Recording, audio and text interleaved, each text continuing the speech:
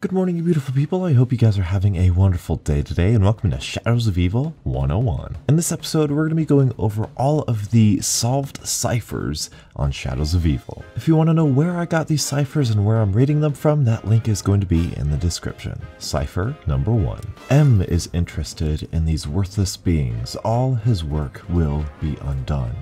X. Cipher number two. I am willing to do what must be done. The plan must not fail. Cipher number three. The elders will continue to seed space and time. I must lead them to the place they cannot see. Cipher number four. Although they have discovered the way, Primis will fail. Cipher number five. The Formless One will be their downfall. And that is all the ciphers we have here on Shadows of Evil. I thought about showing you guys where to actually see the ciphers, but I thought that information wouldn't exactly be necessary.